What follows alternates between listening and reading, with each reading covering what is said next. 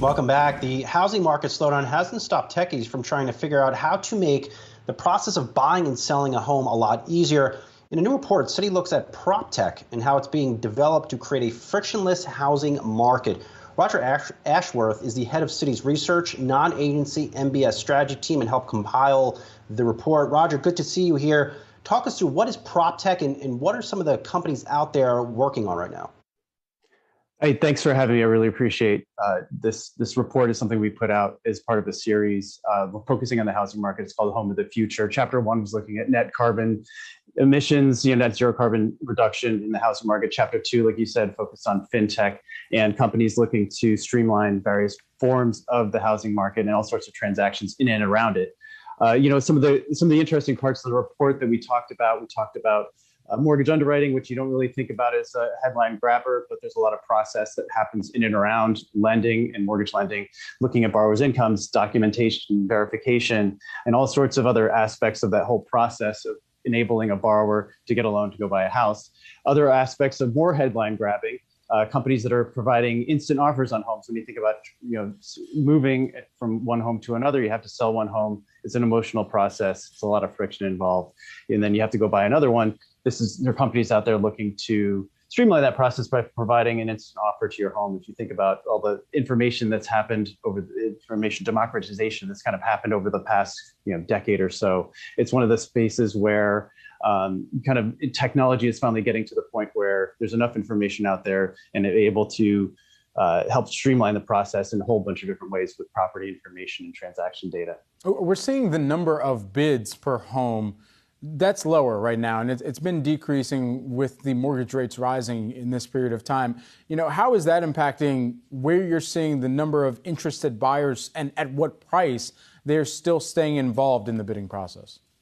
That's true. You know, if they look at like a lot of these publicly traded companies that do provide the instant offers on uh, potential home sellers, uh, certainly they're providing you know upwards of you know some publicly traded ones are advertising they're putting out 2 million offers but their only hit rate is actually quite much lower than that mm. uh, but ex- like you said existing home sales are starting to pull back the affordability concern in and around the housing market is certainly something I keep track of as a, as a research analyst, looking forward to uh, projecting home prices because we're always worried about potential defaults and losses at some point in the future. But um, it's certainly something that you know we project out forward. And if you look at consensus estimates of existing home sales, we're talking, you know, in the neighborhood of 5 million homes per year. So certainly there's uh, some market share to be grabbed uh, and help streamline the, the whole process there. What are some some of the companies, Roger, doing this uh, very well, and maybe some others not doing it well? Uh, you know, I, I, don't have any disclosures. I have to, I have to apologize there to uh, talk names, but we certainly follow along with research reports where we do talk names. Um, but yeah, there's certainly businesses that have uh, succeeded and some that have uh, pulled back in the industry. It's um, it's certainly uh, when you talk about the, the, home buying transaction, these are large these are large transaction amounts. It's probably as a U.S. consumer the largest financial transaction you ever undertake in your life. The um, and you know the potential for error and missing is certainly there in business decisions. You know, but on a go forward basis, you know we've already had a couple public companies report profitable quarters in Q1, and it seems like the the, the, the potential growth path is certainly uh, large. When you talk about the U.S. housing market, it's like a 37 trillion dollar market. There's 26 trillion dollars of equity. There's a lot of actually other investment business models where uh, companies are willing to uh, instead of taking out a second mortgage, they'll simply purchase a piece of equity of your home for a share of that home price appreciation going forward. There's a lot of uh, potential market share across the board, and a lot of frictions that can be removed uh, in the underwriting process and the real estate transaction process. The housing market's become a little more uh, volatile, to say the least, Roger. Uh, as you know, with r- rates going up, has that slowed the pace of innovation in, in, in, an industry like this? You know, we haven't seen too much of it yet. You know, the the uh, historically speaking, it's been a high friction process market. Um, but you know, the, again, these companies are all starting off from relatively small sizes. You know, I think the innovations really have started happening since 2015.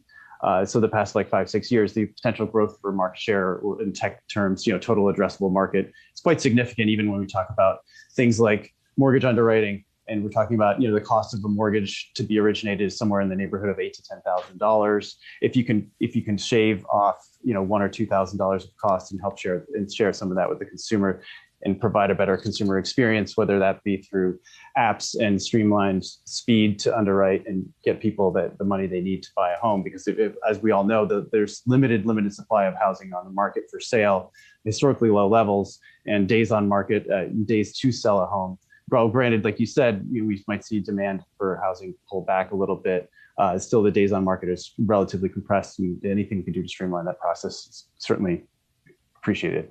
Roger, I understand that you ask, you also track some of the sales that are in the metaverse for real estate that is of a more digital nature here. But with the pullback that we've seen perhaps this crypto winter and even for a more protracted period of time, how has that impacted some of the people even willing to buy in a virtual reality for for the meta me, if you will, to be able to live when when I can't even buy a home in the real life right now? yeah, certainly that's been one of the parts of the report we, we, we discussed a lot and debated actually putting into the into the, this at, at, all. But um, you know, it's something that again we take these these these GPS reports, so it stands for Global Perspectives and Solutions, and we get a chance to step back from our day-to-day investment recommendations and really just highlight some of the broad, big picture issues facing the U.S. economy or the global economy, for that matter, and the average consumer. Um, it's uh, we just highlight these trends that are happening uh, try not to take too much of a stance on the metaverse, uh, as you say. But yeah, there's other uh, interesting uh, aspects of various mortgage lenders looking to um, help people monetize that cryptocurrency. In other words, they can uh, de- you can basically ring fence a piece of your crypto holdings and use it to uh, go purchase a home as an effective down payment with a with a mortgage on the other side as well.